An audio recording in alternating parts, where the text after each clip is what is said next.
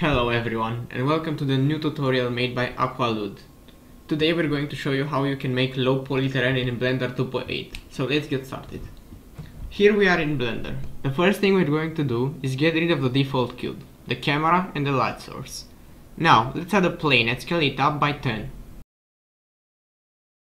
We're going to go into edit mode and right click on the plane and choose subdivide. In terms of subdivisions, we're going to have 50. This is the value we found to be pretty good, but you should play around with it to suit your needs. Also, don't be scared if the poly count is too high, we're going to shrink it later. Before we actually get into modeling our terrain, we have to enable a proportional editing tool and make sure the mode is set to smooth. This will ensure that we will get a smoother and more natural looking terrain. Now, for the modeling, we'll be using the circle selection tool. You can enable it by pressing C. With it enabled, you're going to scroll up and down with the mouse to select a different size for the brush. Now, this whole part is about just modeling the basics of the terrain. Here we'll make the shape of the mountains, valleys, etc. We recommend making smaller bits at a time, as this will help everything look more natural in the end.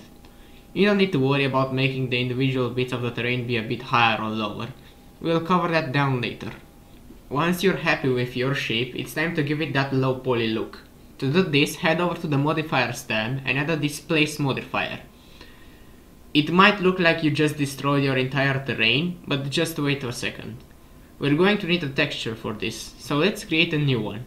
We're going to go to the texture tab and change the type from image or movie to clouds. Now let's head back to the modifier tab and lower the strength. For this case, 0.1 is just about right. A higher value will make the terrain look more out of place, but be careful with not setting it too high. We're going to add a decimate modifier in order to make the faces even more randomly spread out also. Make sure to select triangulate and play around with the value until you get what you like. Now, let's apply the modifier and start adding materials. We'll be going for some basic grass, rock and snow mountain landscapes. We are going to be using the circle tool to select the faces that we want to change and just apply the material. This is the easiest part of making the terrain. And that is it. We recommend you change this terrain and play around with different values to see what fits your game. We hope you found this video helpful, so see you guys next week.